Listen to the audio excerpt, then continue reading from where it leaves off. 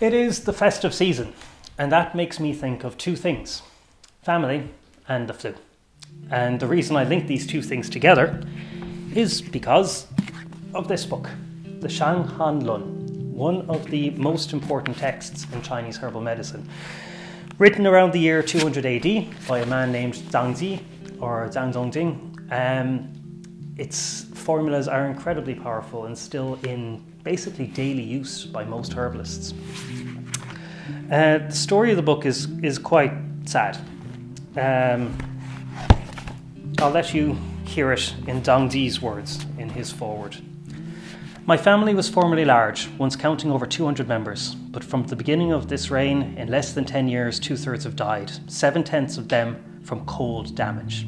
Cold damage is Zhang Ji's word for epidemic or infectious um, febrile illnesses.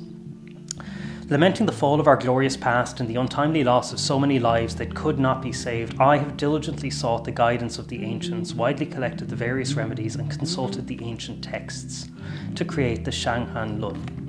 Although this book cannot completely cure all illnesses, it provides the means to understand the origin of illnesses encountered. If the reader follows the materials herein collected, he should be able to think out over half of all medical problems. So, Zhang Ji, a nicely humble dude, very motivated. Zhang Ji is one of these um, the scholar physicians. So Chinese medicine historically has had this um, kind of pull between traditional folk aspects of the medicine things like the barefoot doctors and the people Zhang Ji is referring to here would be like um, doctors who come from a family line that learn from their father and their father and their father and treat based on experience and scholar physicians who study the ancient texts and have a more analytical approach and maybe a more philosophical approach. Um, both of these things are, are, kind of active in the history of Chinese medicine and important. But in this, he's, he's critiquing those people that, that, that treat just based on experience and based on narrow thinking and don't analyze the fullness of the illness. Um, so right now it's it's it's flu season everywhere, and I'm actually prescribing a lot of Zhang Ji's formulas, even still. Um, they're incredibly effective and this is 1,800 years later, and obviously we're probably not treating the same illnesses that Zhangji was treating back then, but the formulas still work. And there's a lot of reasons for that, but one thing I want to talk about is, is where the name of the book comes from, because it, it, it demonstrates a little bit about how Chinese medicine thinks about what we might call the immune system. We don't have a concept of an immune system in Chinese medicine. We do have the concept of defensiveness, defensive qi, but it's very different from an immune system. So, Shang Han Lun, the treatise on cold damage. Zhang Ji differentiates between two types of invasion by an external pathogen. So, if you encounter an external pathogen, or what we might call a, a virus or a, you know, a bacterial infection or something, if you encounter this external pathogen, you can either experience what he calls wind strike or cold damage. Wind strike means that there is an attack that is repelled. The pathogen comes, our defenses repel it, and you know, where we, we carry on. If you think of the body like a, a walled city, the invading army comes, the soldiers come to the walls, they repel the invaders with, with no casualties. That is wind strike, and that is obviously what you want. But most of the time, that's not what happens.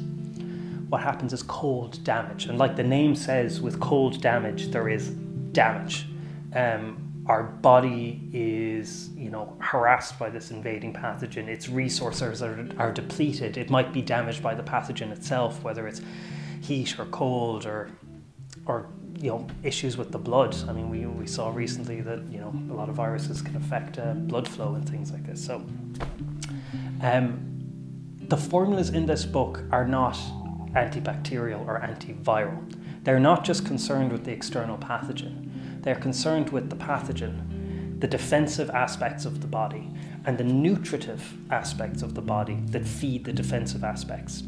So these very beautifully small and simple formulas have an efficacy that's far beyond what you would think given the, the nature of the ingredients. You know, they're not using the strongest herbs in the world, or not always, but they're incredibly effective. And I think it's because they, they have this broad range of application where they're not just looking at an illness and they're not just looking at the state of the body, they're actually looking at the dynamic equilibrium. Because that's the thing, we're always exposed to pathogens, but sometimes they develop into an illness and sometimes they don't.